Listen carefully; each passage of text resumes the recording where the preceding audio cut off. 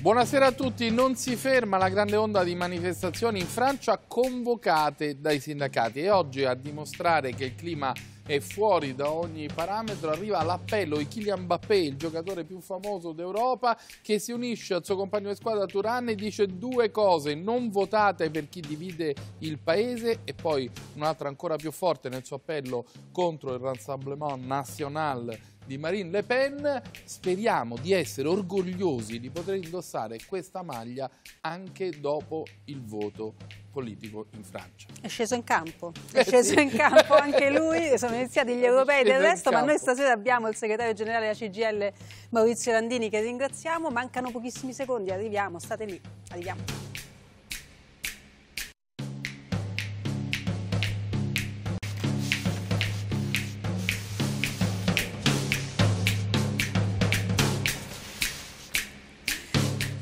Siamo tornati in diretta in onda con il socio Luca Telese e col segretario nazionale della CGL Maurizio Landini che ringraziamo per essere qui con noi in onda. Iniziamo subito con, con, con le spine perché quelle, quelle, ci sono in giro. Abbiamo visto le, i risultati delle elezioni in Europa, insomma le, le destre avanzano e, e abbiamo visto, anzi glielo facciamo vedere subito con un cartello che le destre avanzano in Europa e non solo, il cartello si riferisce, eh, ecco queste sono le destre europee, eh, il dato a sinistra è paragonato con quello delle elezioni precedenti del 2019, insomma vediamo che eh, appunto in Francia, in Germania, eh, in Austria e in Spagna le, le destre crescono, ma l'altro cartello che volevo farle vedere è quello del voto degli operai, visto che iniziamo subito a gamba tesa perché anche in Italia, eccoci qua, il voto degli operai in Italia alle ultime europee è andato per il 39% a Fratelli d'Italia e solo il 16% diciamo, al principale partito del centro-sinistra. Eh, sì, eh? anche, lì manca anche un dato che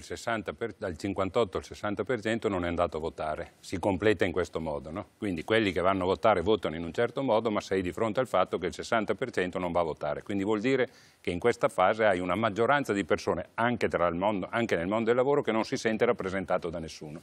E Però credo... non vuole sminuire quel dato no, no, io non sminuisco. Io non, io non sminuisco quel dato lì. Quello è un dato che c'è. Aggiungo e invece rafforzo il fatto che siamo in presenza di una seria crisi democratica, perché addirittura nel nostro Paese è la prima volta nella storia del nostro Paese che ad elezioni politiche chi va a non votare rappresenta la maggioranza di questo Paese. E per me questa è una rottura democratica gravissima, che pone la necessità di recuperare, perché se quelli che stanno peggio i lavoratori, i disoccupati, cioè se quelli che stanno peggio non vanno a votare, vuol dire che non si sentono rappresentati da nessuno.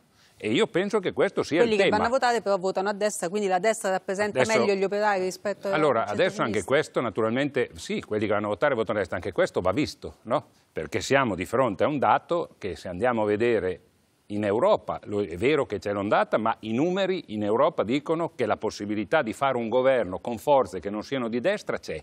Poi il tema è fare delle politiche che non siano di destra, anche se tu non sei di destra. Perché una delle ragioni che non in Europa... Sembra molto fiducioso lei. No, lo dico no. C'era uno studio nella Commissione europea, dieci mesi fa, fatto dalla Commissione europea, che diceva già che le forze di destra, non adesso, dieci mesi fa, che erano emerse, guarda caso, avevano preso i voti nelle zone dove c'era più disagio sociale, dove era aumentata la diseguaglianza, dove c'era più precarietà. Quindi in Europa chi oggi non è di destra deve assumere come linea che la politica d'austerità è sbagliata, che va cambiata. È il momento di fare gli investimenti, è il momento di investire sul lavoro, è il momento di non lasciare solo le persone, ma di dargli delle risposte molto concrete. Se poi guardo quello che è avvenuto in Italia, e mi permetto di dire vorrei fare anche questo quadro, perché per me emergono due temi. Uno, che chi è al governo anche la somma dei voti che ha preso ci dice due cose. Uno, che non sono maggioranza del Paese, perché la maggioranza di quelli che vanno a votare votano per forze politiche che non sono al governo. Questo governo non ha superato il 47%,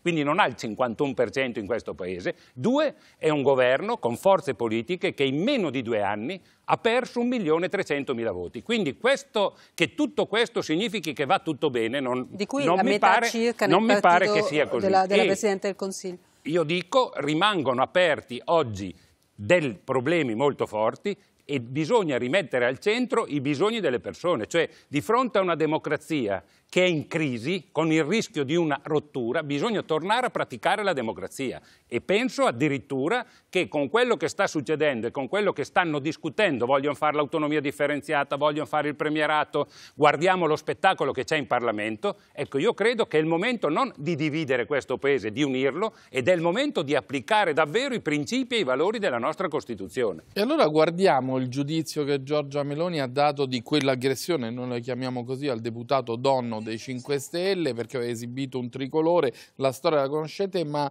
guardate e commentiamo insieme la risposta di Giorgia Meloni.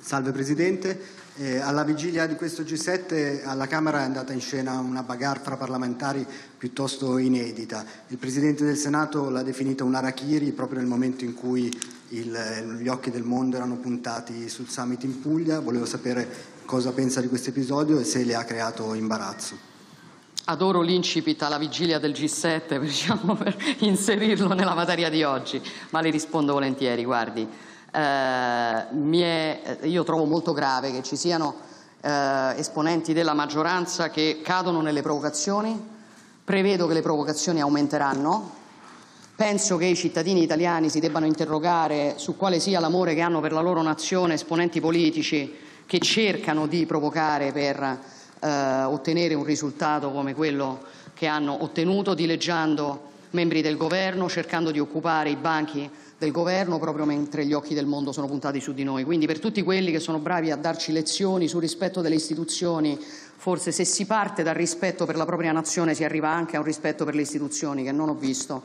in questi giorni. In ogni caso neanche questo è riuscito a rovinare l'ottima riuscita di questo vertice. Io penso che sentire dal governo queste parole eh, a me fa girare un po' le scatole, perché noi siamo di fronte a un governo che sta in realtà disprezzando il Parlamento perché oggi il Parlamento non è messo nella condizione di fare quello che dovrebbe fare, perché le leggi anziché farle il Parlamento le fa il Governo, perché il Parlamento non sta, non sta svolgendo la sua funzione perché non fanno altro che votare a colpi di maggioranza nelle commissioni e con decreti ed è lo stesso Governo che sta impedendo alle organizzazioni sindacali e anche in molti casi alle organizzazioni imprenditoriali di svolgere quella funzione prevista dalla Costituzione, di essere cioè dei soggetti che rappresentano i bisogni di chi lavora con cui il Governo dovrebbe contrattare e trovare delle soluzioni opposizioni. Però la Meloni che, dice che le opposizioni provocano. No, arriviamo lì. Cioè, qual è la provocazione? Quella che uno ci arriva, presenta il tricolore? Io tra l'altro sono nato a Reggio Emilia, no? a Reggio Emilia è nato anche il tricolore. Il tricolore non è che è una cosa offensiva, eh? il tricolore per uno che è democratico nel nostro paese è un valore di unità, è un valore di riconoscimento del pluralismo. Quindi quale sarebbe la provocazione? E la reazione alla provocazione qual è? Quello di richiamare la decima Mas? Qualcuno dovrebbe ricordarsi che se avessero vinto quelli lì, i fascisti e la decima massa, oggi non ci sarebbe né la democrazia, né ci sarebbe il tricolore, né ci sarebbe la patria. Quindi quando sento queste cose, a chi ha giurato sulla Costituzione, certe cose questo governo non le può dire se ha giurato sulla Costituzione. Tanto più, perché è stato presentato il tricolore? Perché questo governo vuole fare l'autonomia differenziata, cioè vuole dividere ancora più il nostro Paese, con tante divisioni che ci sono, e addirittura vuole cambiare la Costituzione. Io lo dico in modo molto chiaro, per quello che ci riguarda, quella quella è una battaglia che vogliamo fare fino in fondo, se necessario usando anche lo strumento referendario per abrogare l'autonomia differenziata se la faranno e per difendere la nostra Costituzione. Tra l'altro non è una cosa nuova, noi nell'ultimo anno come CGL insieme a più di 100 associazioni laiche e cattoliche abbiamo proprio dato vita a un movimento in tutto il paese con manifestazioni che si chiama Via Maestra. Vi accuseranno di fare politica via... Landini? Assolutamente sì, no, la stiamo politica. facendo, perché ah. difendere la Costituzione è un atto politico che qualsiasi organizzazione democratica deve fare e noi siamo pronti ad andarci in fondo. La Via Maestra per noi oggi è applicare i principi della Costituzione. La vera rivoluzione da fare in questo paese è applicare i valori e i principi principi della Costituzione, il diritto al lavoro dignitoso, una sanità pubblica garantita, un fisco che faccia pagare le tasse a chi le vada, il diritto di far studiare i propri figli, di impedire che i giovani se ne vadano all'estero perché qui sono sfruttati, di combattere la, le illegalità e la malavita organizzata. Questo è quello che si deve fare ed è questo quello che non stanno facendo. E lei se la prende perché un parlamentare italiano arriva col tricolore. Questa sarebbe la provocazione? Ma con quale faccia ha guidato il G7 o il governo pensa di guidare il G7 se addirittura considera una provocazione quelli che usano il vessillo del nostro paese e della nostra nazione? Lo trovo sicuramente un paradosso e da un certo punto di vista lo dico in modo molto chiaro, per me la democrazia della nostra Repubblica va difesa in tutti i modi e pensare al referendum io credo che sia il modo più democratico di questo mondo, perché noi chiediamo ad ogni cittadino del nostro Paese di tornare a riprendere la parola per difendere la sua libertà, la libertà di esistere, la libertà di essere un soggetto che conta e non semplicemente che viene sfruttato o utilizzato o considerato una merce che si può comprare e vendere. Beh, insomma, la, la, vista l'importanza che la Presidente del Consiglio eh, riconosce al valore dell'espressione dei cittadini, dovreste essere d'accordo almeno su questo, insomma, sulla consultazione popolare. Vedremo se sarà davvero così. Lei però ha detto che appunto la Costituzione è eh, i valori costituzionali sono quelli che dovrebbero guidare eh, tutta l'azione non solo del governo ma insomma de del Paese. La Costituzione è profondamente antifascista e questa è stata, anche, oltre la settimana del, dell'aggressione alla Camera derubricata a folklore o a, a provocazione, anche la settimana di eh, una splendida inchiesta di fanpage mandata in onda da Piazza Pulita in cui si sono visti i giovani eh, di Fratelli d'Italia, la gioventù diciamo, meloniana, inneggiare eh, non solo al Duce ma anche rievocare nel linguaggio, nel lessico eh, un, passato, diciamo, un, passato, nero. Forse ma è folklore anche questo, questo no, la preoccupa. non ha memoria. Io vorrei ricordare che meno di due anni fa hanno assaltato la sede nazionale della CGL. Per quello glielo chiedo. No, non so se No, non è proprio... E nella storia di questo Paese, quando sono state assaltate le Camere del Lavoro, era perché hanno cercato di cancellare la democrazia. Quindi non sono cose che non esistono, sono cose che ci sono. Ma la e oggi essere... il silenzio di Giorgia Meloni su quei giovani penso... che lei ha pubblicamente elogiato certo, in tutte le occasioni? Io banalmente penso che bisogna ribadire con forza il valore della nostra democrazia. Noi siamo una democrazia perché abbiamo sconfitto il fascismo e il nazismo e siamo antifascisti e, e la nostra, dice la la Costituzione è una repubblica democratica, virgola, fondata sul lavoro. E fondata sul lavoro vuol dire che le persone che per vivere hanno bisogno di lavorare lo debbono fare con dovere, ma debbono avere dei diritti. Uno deve poter vivere dignitosamente, quindi ci vuole uno stipendio che ti fa vivere. Uno non deve essere precario, ma deve avere la possibilità di fare un lavoro stabile. La dico in modo molto secco la libertà di esistere oggi è messa in discussione, e la di esistere per essere un cittadino libero, non solo nel luogo di lavoro, ma che può partecipare, che ha il diritto di curarsi, che paga le tasse, che vuole Meloni che dice che va tutto bene, eh? vogliamo vedere esatto. la clip? Non è assolutamente Vediamo, così. Eh. Proprio, sul lavoro, proprio sul lavoro, Beh, Se facesse così bene in un anno non perde un milione e Vediamo, risponda, no? Se proprio facesse così bene può darsi che gli andava anche meglio. Oggi pure in una situazione difficile l'Italia è finalmente tornata a crescere più della media europea. È cresciuto l'export, è sceso lo spread e la borsa italiana nel 2023 è stata la migliore in Europa, ma soprattutto abbiamo toccato il tasso di occupazione più alto di sempre. Aumentano i contratti stabili, aumenta l'occupazione femminile, diminuisce il rischio di povertà e dopo tre anni i salari sono tornati a crescere più dell'inflazione. Bisognerebbe, consentite una battuta, bisognerebbe qualcuno ricordasse che crescere non vuol dire semplicemente ingrassare, no? Cioè crescere vuole anche dire... Non lo dica a me! No, ma lo dico banalmente perché adesso, Luca. sinceramente, ascoltando quelle cose qui, io mi chiedo, al di là degli spot elettorali, uno deve avere il coraggio, se governa, di dire la verità, non di raccontare delle balle, di dire la verità. Sono aumentati i numeri? Certo, se uno guarda i numeri, i numeri sono aumentati, ma uno dovrebbe guardare non i numeri, le persone, che lavoro fanno, quanto prendono, qual è la condizione. Ce lo vogliamo dire? Noi siamo un paese che, arri- che, è arrivato ad avere 4 milioni e mezzo di part-time, cioè di gente non che ha scelto di fare il part-time, ma che lo fanno lavorare meno ore. Queste persone non ce n'è una che supera gli 11-12 mila euro lordi l'anno vuol dire essere poveri lavorando. Ci sono 3 milioni che sono con contratto a termine, c'è un milione che fa il lavoro a chiamata, che non arriva a 5-6 mila euro l'anno, c'è un milione che è lavoro somministrato, per non contare il numero di partite IVA o di lavoro autonomo che è cresciuto, che hanno livelli di vita che non arrivano pure loro alla fine del mese. Quindi in un paese dove tu hai più di 10 milioni di persone che pur lavorando sono povere, come fai a raccontare di quelle storie di questa natura? E i contratti nazionali, certo, alcuni sono stati rinnovati grazie a noi, grazie alle lotte che abbiamo fatto, perché i contratti che dipendono dalla Meloni, la sanità, la scuola, i pubblici dipendenti, sono tre anni che sono scaduti e di fronte a un'inflazione del 17%, il governo ad oggi ha messo il 5%. Se io firmassi quel contratto, firmo la riduzione programmata dei salari e non non tutelo quel salario. Nella prossima legge di bilancio a settembre, al di là delle chiacchiere, cosa fanno? Ci mettono i soldi per rinnovare i contratti, ci mettono i soldi per investire sulla sanità pubblica e superare davvero le liste d'attesa, fanno davvero una riforma fiscale anziché far tutti i condoni che hanno fatto fino adesso, che davvero intervenga e vada a prendere i soldi dove sono, combattendo l'evasione, tassando i profitti e gli extraprofitti, tassando le rendite finanziarie. Altro, Ma dove vivono? Un altro Pensano davvero di andare avanti tanto così? Sull'occupazione Landini è che aumenta, è un movimento anomalo, quella di coloro che hanno un'alta età. Certo. Quindi praticamente sono persone che no, non sono andate in pensione. Certo, hanno bloccato le pensioni. Altro che modifichiamo la Fornero, se vi ricordate il ritornello. Sì, cancelliamo la Fornero. Sono, sì, sono, sono, riusciti a peggiorarla perché hanno bloccato tutto, non ci va più nessuno in pensione e infatti l'occupazione sta aumentando. Quindi sono quelli. Sta aumentando negli over 65 e addirittura quando dice donne noi siamo il paese in Europa che ha il livello di occupazione femminile più basso d'Europa.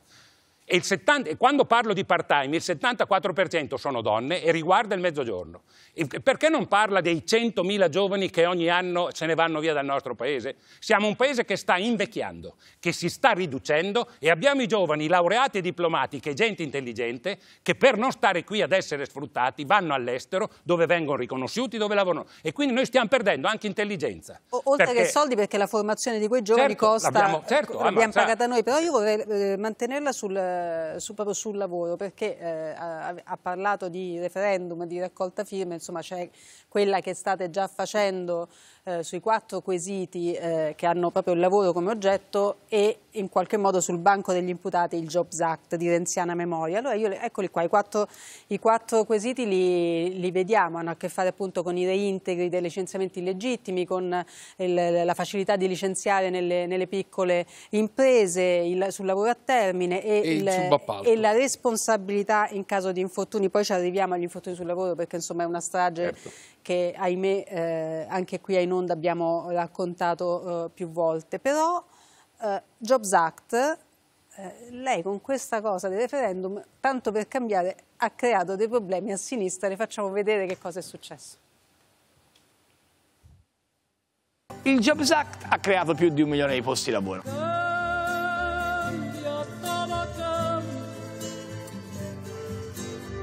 Piacerebbe che invece i democratici fossero tanti a firmare quel referendum per riscattarsi dall'errore che hanno fatto nel, nel, votare per la legge sul Zobat. L'abbiamo fatto quando, coordinatore della mia campagna elettorale, c'era un signore che si chiamava Stefano Bonaccini. Bonaccini. Chi vuole nel Partito Democratico può firmare il referendum di una grande organizzazione come la CGL. Io sicuramente non firmerò. Hanno tutti votato per il Jobs Act.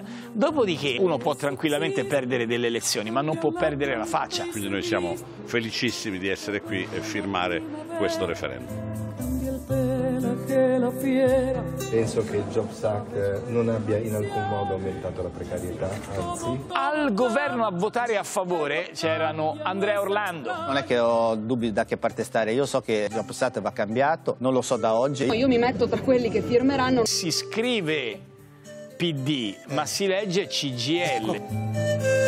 Questa, questo meraviglioso collage di Lidia Mancini ci porta alla domanda che volevamo farle, cioè questa occasione per usare eh, l'immagine usata da Renzi è un modo per il PD per recuperare la faccia rispetto ad aver votato una legge che ha reso più precario il lavoro o per, Noi, per perderla del tutto? Noi con quella scelta che abbiamo fatto di decidere di raccogliere firme, di chiedere quindi ai cittadini italiani di andare a votare. È la cosa più difficile in assoluto. In un paese dove il 50% più non è andato a votare, il referendum per essere valido deve superare quel quorum.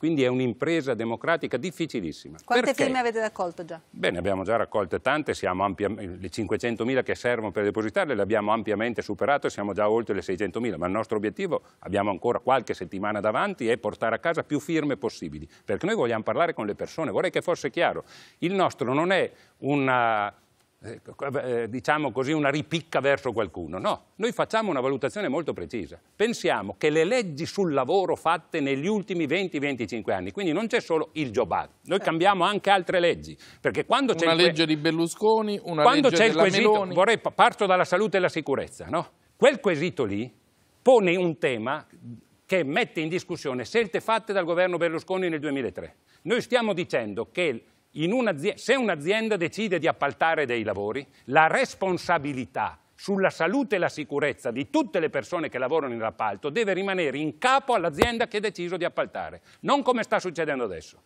Perché se voi vedete a Brandizzo le ferrovie dello Stato, ma non si sa chi è, all'Enel a Bologna, Palermo, eh, S. Lunga a Firenze, a Palermo, bene, quindi noi, e la, chi cambiò quella legge lì dicendo che il trattamento economico e normativo di tutte le persone sugli appalti non doveva più essere uguale come era previsto dalle leggi fatte nel 60, fu il governo Berlusconi con il ministro Maroni, ci siamo?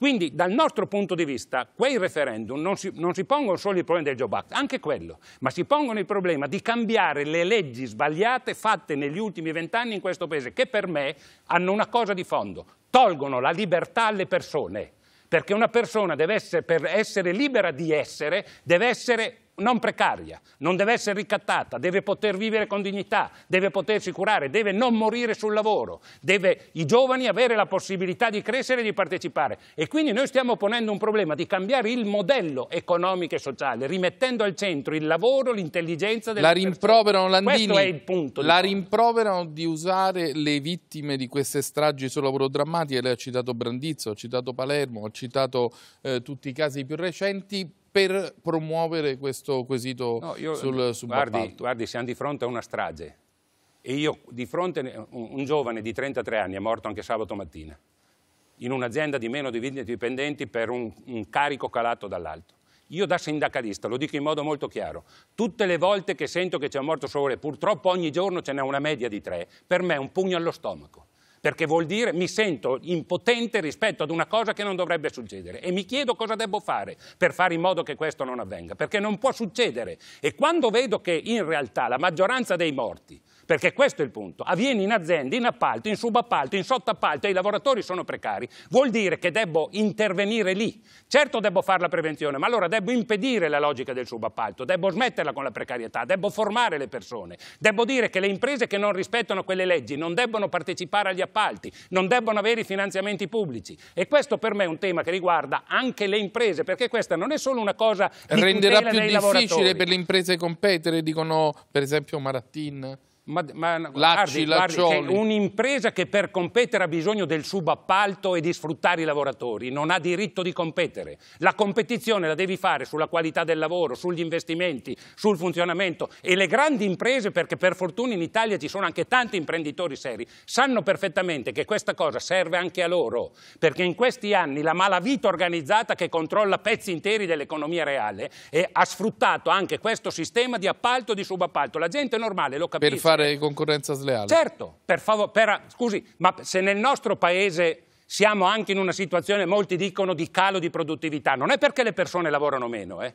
Ma se c'è questo elemento, si è determinato negli anni perché anziché fare gli investimenti che devi fare, hai affermato Andiamo. un modello di fare impresa, lo dico con le mie parole molto secche, questo modello di fare impresa su appalti e subappalti per carità è un modello che uccide e che quindi va cambiato e che fa male non solo ai lavoratori, no, fa male è, anche al nostro è, sistema di imprese. E noi ci rivolgiamo anche a Confindustria, anche alle associazioni, perché io so che chi vuole fare seriamente il suo mestiere come imprenditore è d'accordo con noi ed è pronto a discutere e a battersi e a lavorare per organizzare le imprese imprese in modo diverso. Ma, di, Ma allora di, fronte, di, fronte, ai numeri de, dei morti sul Io lavoro, dico, degli infortuni sul lavoro, vedi, non i si nostri referendum non sono una ripicca verso nessuno, però, la dico così, uno dovrebbe, se uno è onesto, dopo vent'anni che hanno teorizzato che se liberavi il mercato tutto funzionava, come siamo messi? Peggio di prima. No, diciamo che sono, allora sono quesiti che, che nascono da, da, valutazioni ex post, mettiamola così, da, da, diciamo, da, quello che è successo dopo quelle leggi. Però a proposito di quello che è successo dopo, eh, noi eh, qui stasera andiamo anche a, a ciò che era prima, a, a, torniamo indietro perché dopo di noi va in onda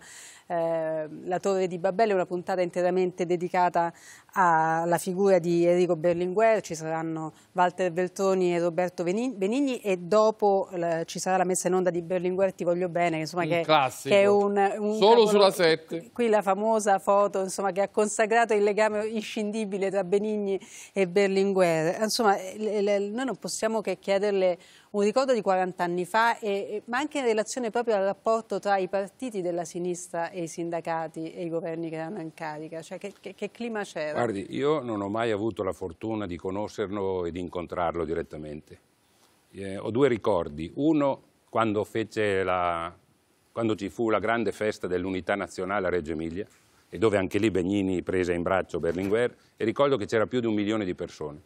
E io quello ero un giovane iscritto al partito di Berlinguer che in quella giornata lavorava facendo panini con la salsiccia per tutti quelli che partecipavano. No?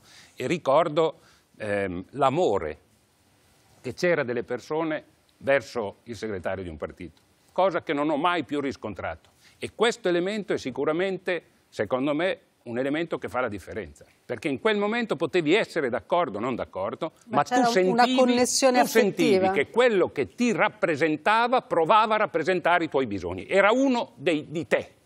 Siamo, questa cosa si è rotta. Poi può piacere o non piacere, poi dicono stai fatto, ma questa cosa si è rotta. Aggiungo, sempre nella mia esperienza personale, che purtroppo dopo la sua morte ci fu, diciamo così, tutto il meccanismo che portò allora anche a un referendum. No? L'allora Partito Comunista decise... Referendum contro il taglio della scala. scala mobile. Io ricordo prima che ero, ero, un giovane delegato da poco uscito a fare il funzionario sindacale nella mia città, nella FIOM CGL, che quando ci fu questo accordo separato, prima ancora di decidere diciamo così, il, che avrebbero poi fatto il referendum, ci fu uno scatto dei delegati di allora, una specie di autoconvocazione dei delegati con manifestazioni e io ricordo che molti di questi delegati, che erano della CGL ma che erano anche iscritti, usarono il mio ufficio, perché io ero appena uscito, no? come luogo, perché loro venendo dalla fabbrica, per poter poi organizzare naturalmente queste manifestazioni.